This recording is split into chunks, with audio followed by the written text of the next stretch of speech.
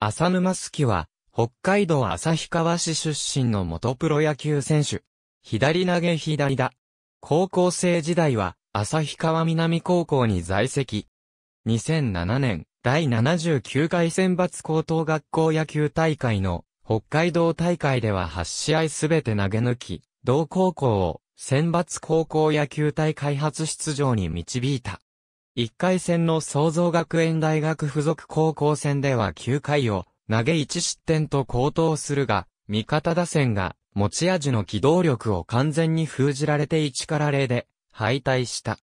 第89回全国高等学校野球選手権、大会の北北海道大会では、同高校のエース県4番県首相を務めたが、腰痛で、制球力を欠いたこともあり力を発揮できず、同高校は準々決勝で敗退している。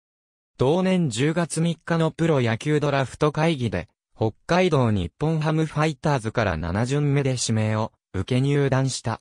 2008年はイースタンリーグで1試合の登板で1回を無失点に抑えている。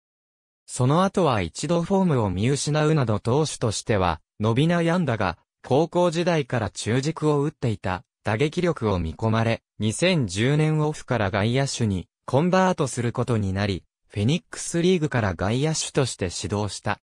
2011年シーズン限りで、同じ北海道出身の渡辺隆一が戦力外通告を受けたため、2012年は、球団唯一の地元出身選手となった。2013年4月24日の対、ソフトバンク戦でダイソーとして、プロ初出場。この試合で、プロ初安打を放っている。シーズン終了後の10月25日に、球団から戦力外通告を受け、現役引退。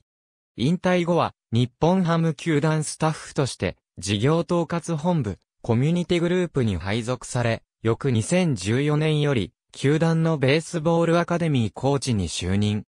2016年4月から2020年3月まで、球団から門別市に人気付け職員として派遣され、市のスポーツ推進に関する仕事に携わるとともに、北海道門別高等学校などで野球を指導した。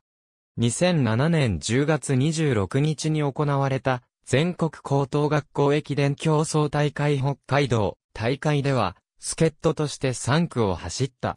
旭川南高校は陸上部の部員数が少なく、毎年野球部員やサッカー部員が助っ人として出場している。ありがとうございます。